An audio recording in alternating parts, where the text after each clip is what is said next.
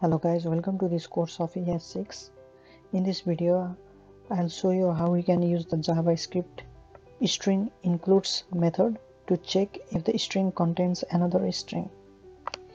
Here is the basic syntax of the include method of JavaScript. The include method determine whether a string contain another string.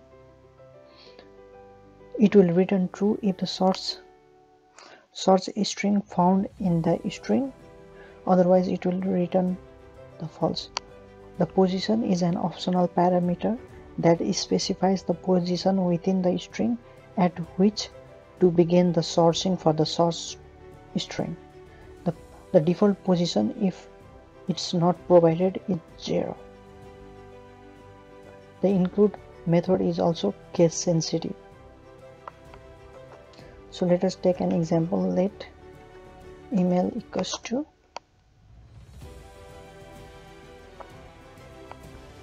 admin at the rate example.com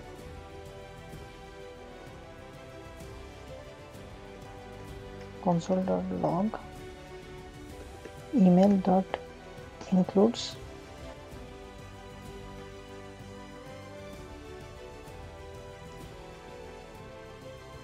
as you can see when it sorts at the rate in the email string it return true.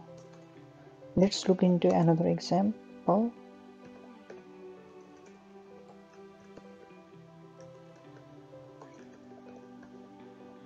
Here is our string. When you look console.log str.includes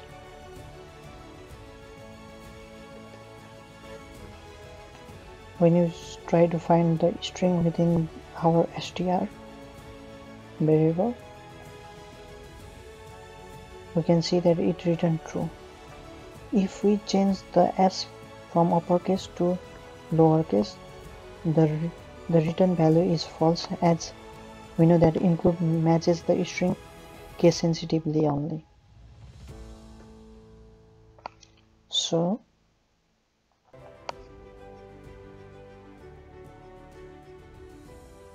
For example, if we try to find the script within this string, then it returns true.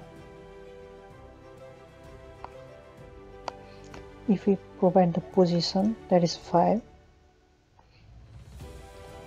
it tells that we need to begin the sourcing from the fifth position. So the S, so the script will be sources after the fifth position beginning from the fifth position with which return false value. If we change the length position from which the source begin to 4 the value that return will be true.